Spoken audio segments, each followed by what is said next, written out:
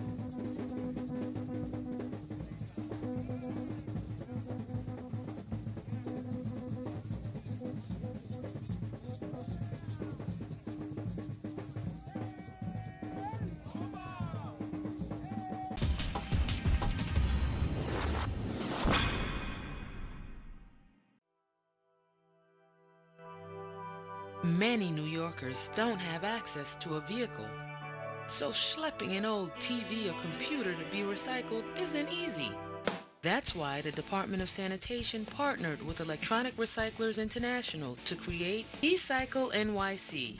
This free and convenient electronics recycling program is for residential buildings over 10 units. Learn more at nyc.gov/ecycle.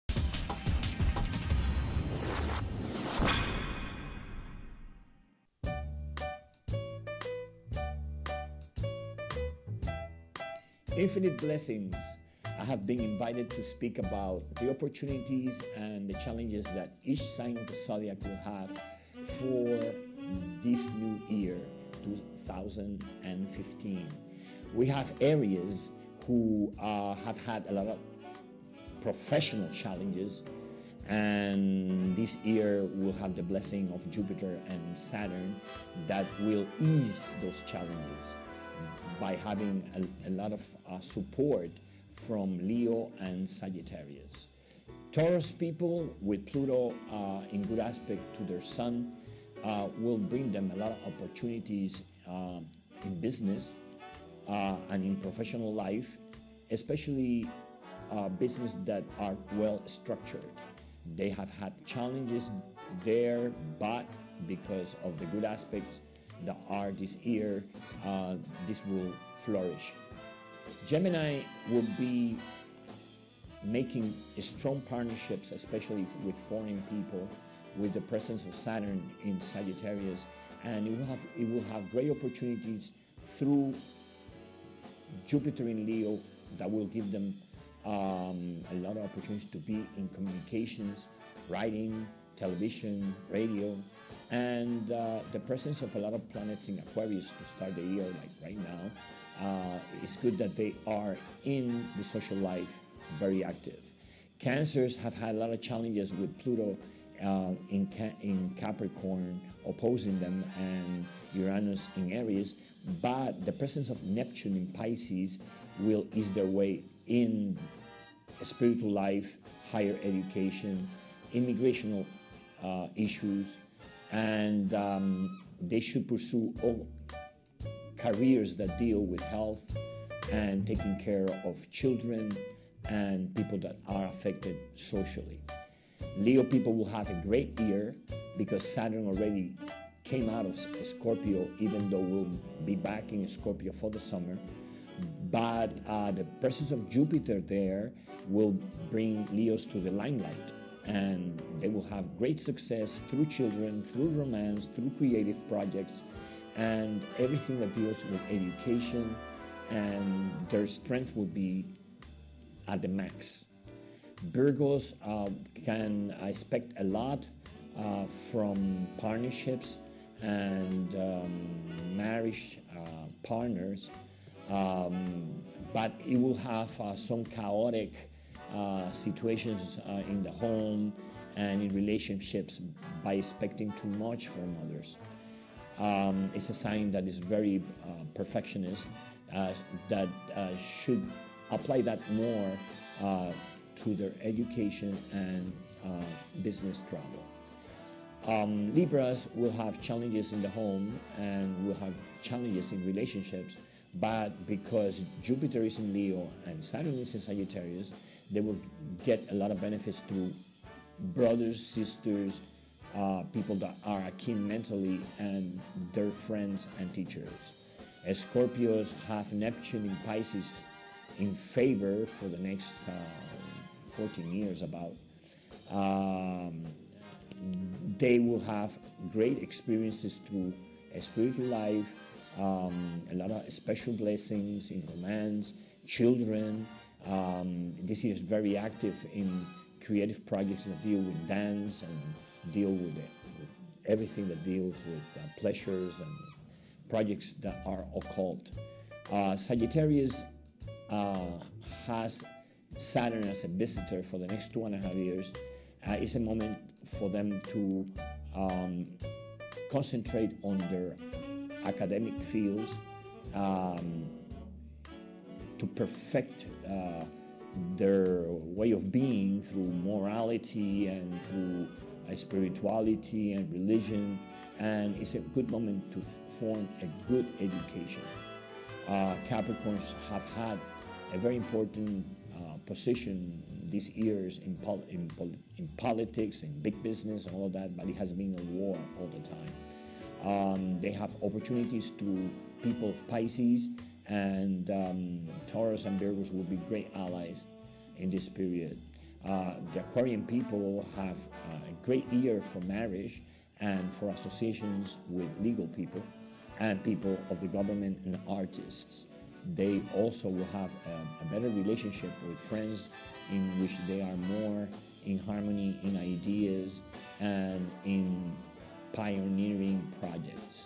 Pisces, um, it will be a year of dreams, but they can also be awakened from dreams and illusions they might have had.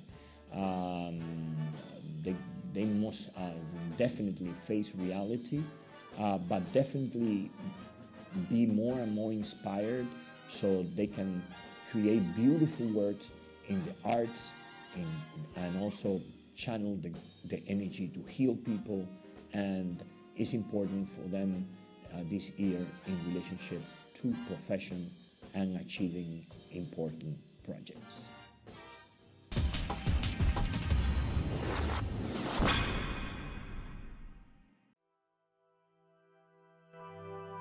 Many New Yorkers don't have access to a vehicle, so schlepping an old TV or computer to be recycled isn't easy. That's why the Department of Sanitation partnered with Electronic Recyclers International to create eCycle NYC. This free and convenient electronics recycling program is for residential buildings over 10 units. Learn more at nyc.gov/ecycle.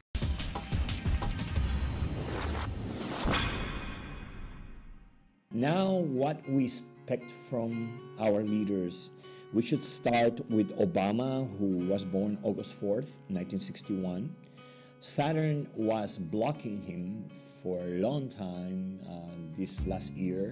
And um, now that uh, Saturn is out of Scorpio, they will achieve what they are into, uh, the Leos. And uh, in this case, the president uh, will have um, great expression of power in the next two in the next two years, and um, he will have a better relationship with foreign countries.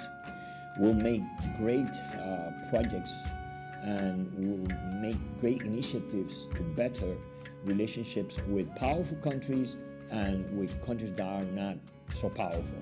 And this um, way of expressing his, um, his way of expressing a disciple uh, will be very um, rewarded by um, having more and more allies, even though uh, in politics we'll have a great war because Pluto in Capricorn uh, still has uh, great challenges with Pluto in Capricorn, uh, with Uranus in Aries, I, I would say.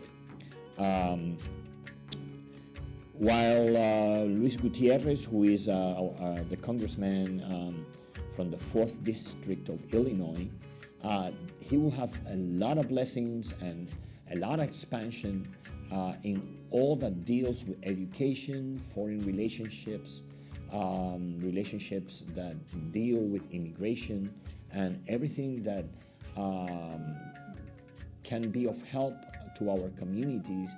Um, definitely uh, he will make a mark uh, until August, especially.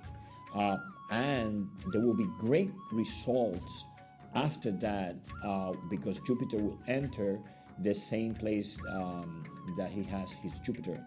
And that will uh, bring um, that his initiatives will have um, a concrete manifestation. in the case of um, Andrew Cuomo, who is a Sagittarius like Luis Gutierrez, uh, the presence of Saturn in Sagittarius definitely puts uh, Sagittarian people on a high level. Uh, being uh, favored by uh, Uranus and being favored by um, Jupiter, they will achieve a lot of things. But definitely, too, the presence of Neptune in Pisces will try to block um, their uh, power and their achievements so they will have also their challenges in this process. Uh, uh, John Boehner, who was born uh, November 17, 1949, the presence of Saturn on top of his sun definitely put him also in a very high position in this period. Uh, a period that um, has been marked by a, a lot of challenges from people uh, from Leos, especially, or uh, people from Aquarius and uh, um, people that uh, have been competing with him. But Saturn is coming out of the area where he, he has his sun, and because Saturn will be making special um, aspects, uh, it will definitely be a good period for him uh, to achieve a lot of, his goals and objectives. Um, I would say that uh, in the case of Mr. de Blasio, who is here also, uh, he's a Taurus, and uh, the, um, Neptune is on top of his moon right now. Uh, so there will be a lot of things happening that will be like uh, beyond his control. Uh, there will be challenges. Um, in public life, definitely, uh, things that are very confusing, and um, there will be um, people might feel deceived in many ways uh, by things that will be occurring in his life. But Pluto every day uh, comes closer to make a good aspect with his Sun in Taurus. So I think um, there are always tests in the way of achievement uh, so I think that after this difficult period, there might be more in the first part of the year. Um, certain uh, events that are um, connected to finance and to um, very concrete and objective projects, uh, he will have success on them as long as he is very reserved and secretive about them and he finds um, support, especially in Capricorn people and Virgo people. So that's what I see for these major leaders.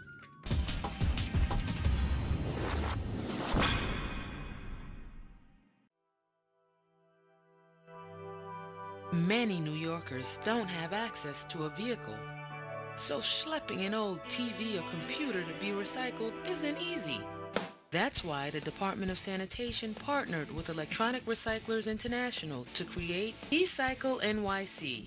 This free and convenient electronics recycling program is for residential buildings over 10 units. Learn more at nyc.gov/ecycle.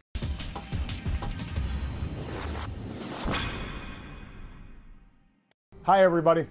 I'm here on Air Force One, just leaving Detroit on my way to Phoenix.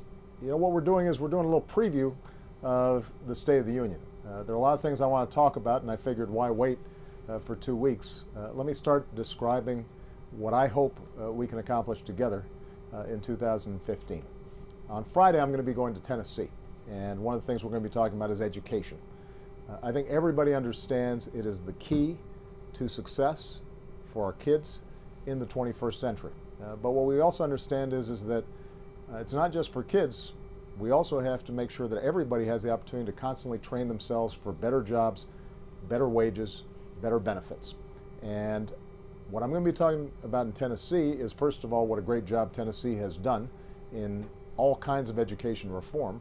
Uh, but what I'm also going to do is announce uh, a proposal that I'm going to be making uh, to make sure that community college is accessible for everybody. Put simply, what I'd like to do is to see the first two years of community college free for everybody who's willing to work for it.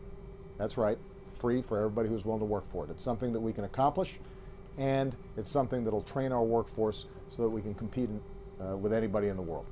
So I hope uh, you'll have a chance to tune in as we make these proposals, and uh, I hope we've got a chance to uh, make sure that Congress gets behind these kinds of efforts to ensure that even as we rebound and grow uh, in 2015, uh, that it benefits everybody and not just some.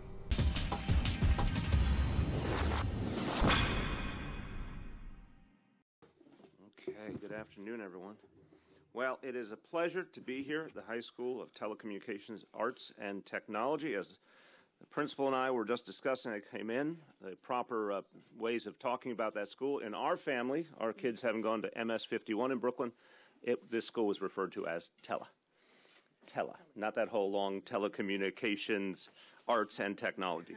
I want to thank the principal, Jeanette Shepard, for her great leadership, and she has uh, continued an extraordinary tradition of leadership here at this high school. It's a high school that has gotten better all the time, and a lot of that was due to then principal, now deputy chancellor Phil Weinberg, who did an extraordinary job here and has passed the torch to a new generation of leadership.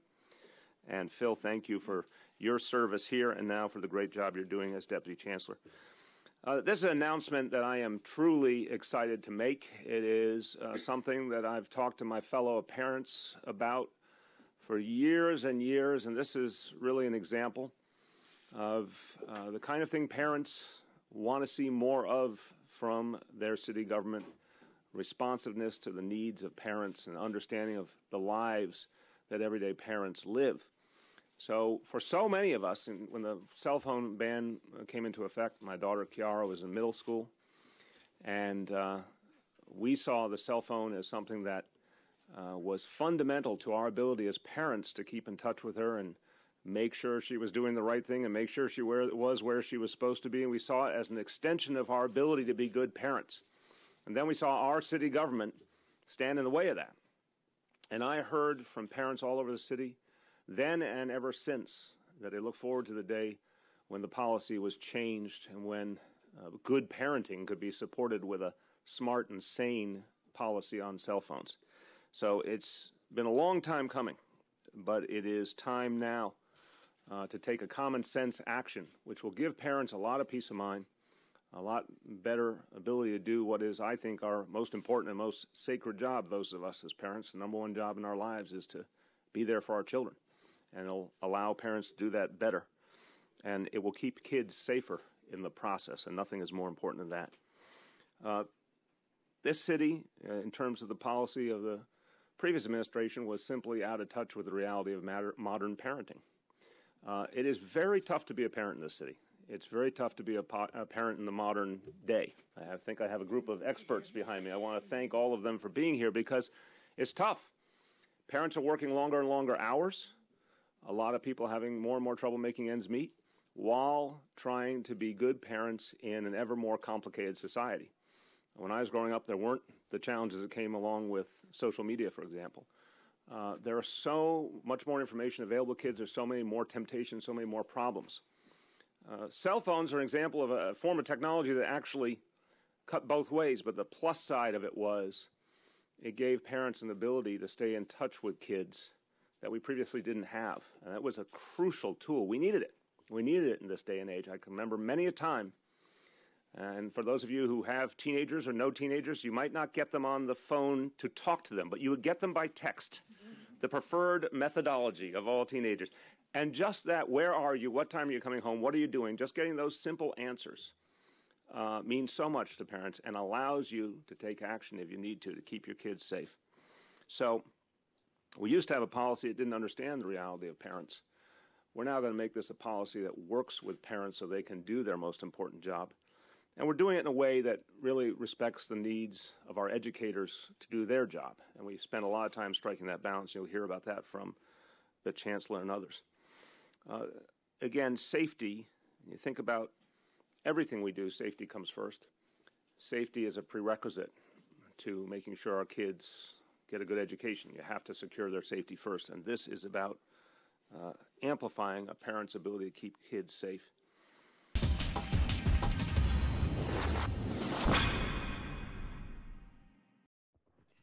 If you live in Rhode Island, Texas, New York, New Jersey, or Florida, I'm looking forward to seeing you in the coming weeks. And my friends in North Carolina and South Carolina, too. When I'm not here in my district in Chicago, I have half a dozen events lined up over the next few weeks. And I'm going to be going from town to town, state to state, talking with people about the President's immigration executive actions and what it means for them, their families, and their communities. In congregations and community centers and schools, and with local elected officials, I'm going to be doing outreach to educate the community of immigrants and also to mobilize the multitude of allies at the state and local level who will help millions of our immigrant neighbors come forward and register with the government. And I'll not be alone in this effort. Next week, I'll be with the distinguished gentleman from Rhode Island, David Cicilline, and with his mayor in Providence, holding an event to get people the information they need so they can get ready to sign up with the government. From Charlotte to Houston to Los Angeles, my colleagues here in the House are pulling together events to educate their own communities, and I hope to attend as many as I can.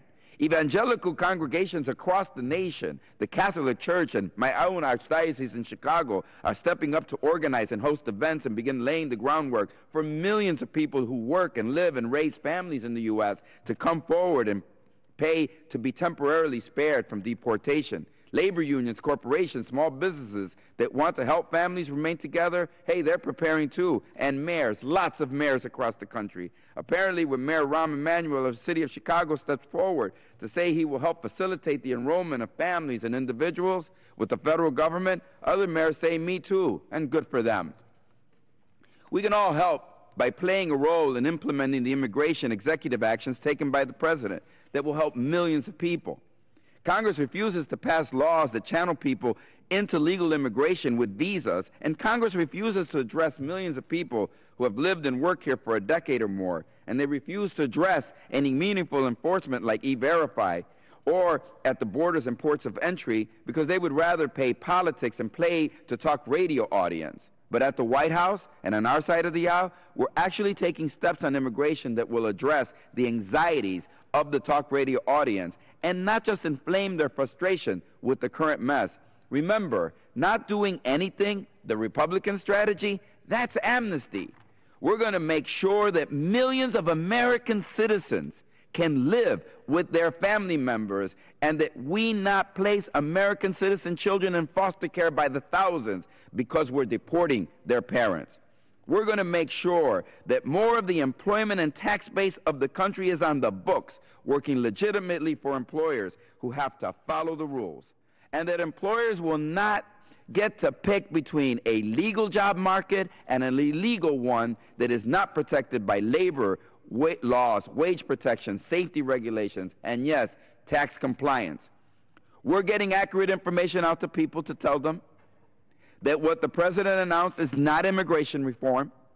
It's not a permanent but a small step in the right direction within the confines of current law. As I said during the last Congress, and I'm repeating it again today, I will work with anyone in either party that has a legitimate idea on how to make our immigration system more secure, more legal, more orderly. Most of my fellow lawmakers in this body support legal immigration, and to make progress, we need to break with the group opposing legal immigration. We need a modern visa system that takes America beyond the current system crafted in the 80s and 90s. We need a modern enforcement with an electronic verification system that replaces a paper based system of documentation. We need modern border security that works hand in hand with modern visa and enforcement systems so that we channel traffic through ports of entry where commodities, cargo, and people are inspected efficiently. More militarization, more deportation, and narrow legal immigration channels have not given us greater control over the immigration process that has led us to a number of problems. If you're serious about border security, legalization, enforcement, legal immigration, then my door is always open. Tell me what you need to move forward. Do you need more fences? More high tech visas? More immigration judges?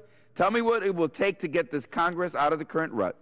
In the meantime, I and a lot of my colleagues are going to be out there around the country protecting American families from destruction and protecting millions from deportation.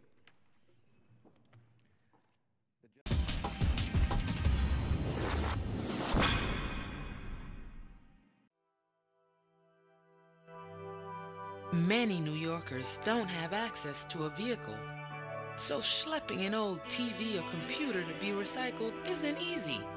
That's why the Department of Sanitation partnered with Electronic Recyclers International to create eCycle NYC. This free and convenient electronics recycling program is for residential buildings over 10 units. Learn more at nyc.gov/ecycle.